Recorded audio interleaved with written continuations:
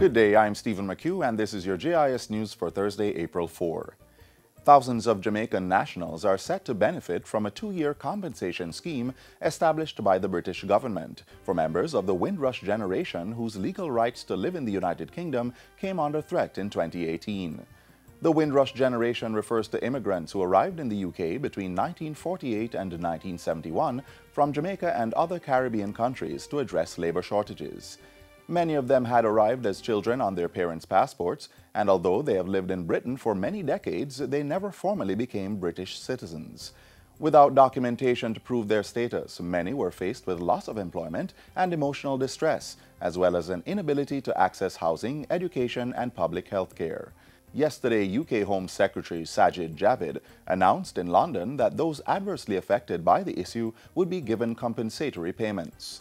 In Kingston, British High Commissioner to Jamaica Asif Ahmad revealed that the compensations would be accompanied by a personal letter of apology from the UK government. I knew that the day would come when we would announce the compensation, but no amount of money will ever undo the injustice or the pain or the hurt or damage, not to just to individuals, to their families, and the consequences will live with them forever.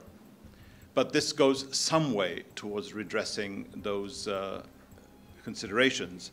Uh, but I hope that what will accompany the compensation will also be taken in the intended way. High Commissioner Ahmad says that with the help of the Jamaican government, they have been able to track down thousands of persons, 3,600 of whom have had their British citizenship afforded to them. The Home Office has also set up a website where persons can find out more about the compensation scheme. They can also utilize the free phone line to the UK to get more information. Claims will be accepted via hard copy and email sent to Windrush Compensation Scheme at homeoffice.gov.uk. Government will be spending $1.2 billion to create an iconic public attraction and entertainment zone in the resort city of Montego Bay. Tourism Minister Edmund Bartlett says the design for the entertainment zone is expected before the end of this month. We have completed the work for the preparation to create the design, and I'm waiting on the UDC to deliver that design to me. We have actually paid for the design already, and hopefully I get it before the 10th of April. That would be the design for the government campus, which will host and house the first and most important performing arts center in Montego Bay, St. James. The tourism minister says the art center will be built on the grounds of the National Water Commission.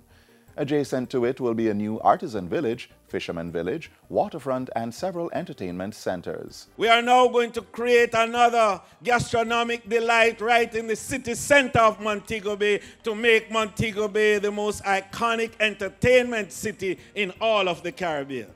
Minister Bartlett was speaking in Montego Bay during the official renaming ceremony of Gloucester Avenue Hip Strip to Jimmy Cliff Boulevard. The international reggae icon was given the honor for helping to bring fame to Jamaica's rich culture and heritage.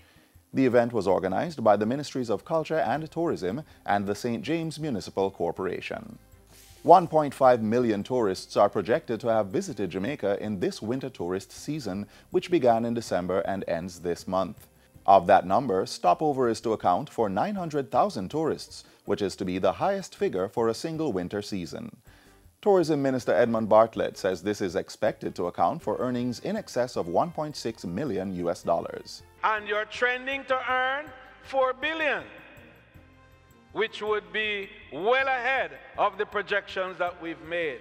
The minister provided the latest figures at Saturday night's Tourism Service Excellence Awards. Half Moon Hotel was double winner. The hotel won the Best Organization category, while its training manager, Conroy Thompson, was named Tourism's Best Employee. 19 finalists vied for top prizes and awards in the competition, which is organized by the Tourism Product Development Company, TPDCO. The Transport Authority has issued a stern warning to unlicensed operators who they say will be prosecuted if they are found in breach of the law. Under Section 61, subsection 1 of the Road Traffic Act, operating a public passenger vehicle without a road license is illegal. Among other things, guilty persons may have their vehicles seized for the offense. The Transport Authority has indicated that it will be working with the police in a zero tolerance crackdown on illegal practices. The authority released a statement on Wednesday urging unlicensed operators to immediately desist and comply with the law. In the meantime, the Transport Authority is urging commuters to use only licensed public passenger vehicles. The statement warns that commuters who use these vehicles face the risk of traveling with operators who have not been registered or trained by the authority, may not have passed criminal background checks, lack the required public passenger vehicles insurance, and who may potentially be dangerous. Licensed public passenger vehicles should have red license plates and bear a blue and white Transport Authority sticker on their windscreen with a 2020 or later expiration date.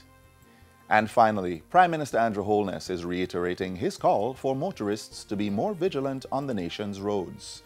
Mr. Holness's call follows statistics released by the Road Safety Unit, which reports that there have been more than 100 road fatalities since the start of the year.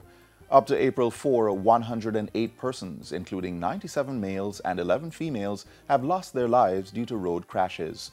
Persons in the 20 to 34 year old age group were most affected. Westmoreland recorded the most deaths, followed by Manchester and Trelawny. And that's it for JIS News Today. I'm Stephen McHugh. Thanks for watching.